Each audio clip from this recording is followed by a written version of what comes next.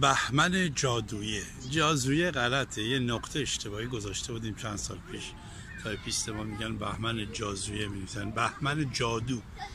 یه سوادمون بره بالاتر. پور لگام. ابن ملجم.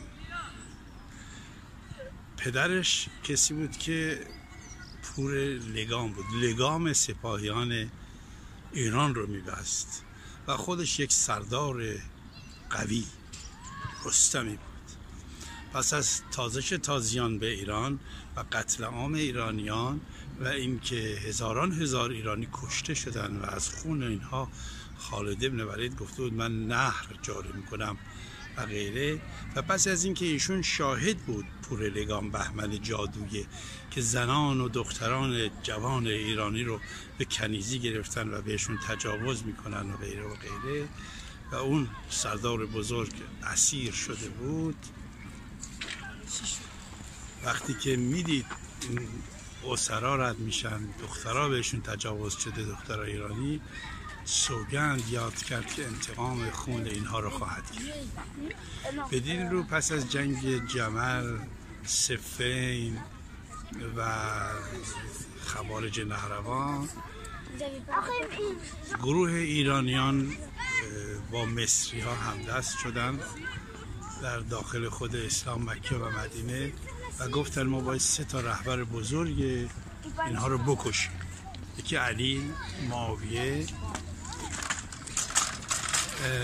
و مشاور برجسته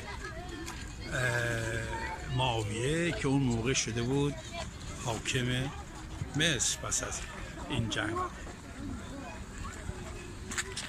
اون دوتا موفق نمیشن که معمولیتشون رو خوب انجام بدن. اما پور لگام ابن ملجم وارد شهر میشه و هنگامی که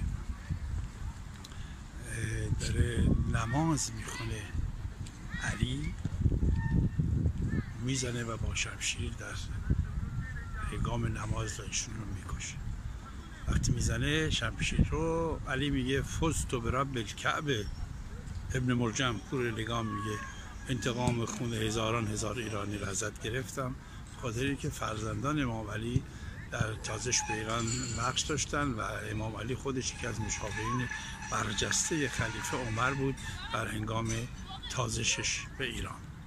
بدین روز که ایرانی خاک بر سرش که بخواد عزاداری بگیره و اینها. با بوسه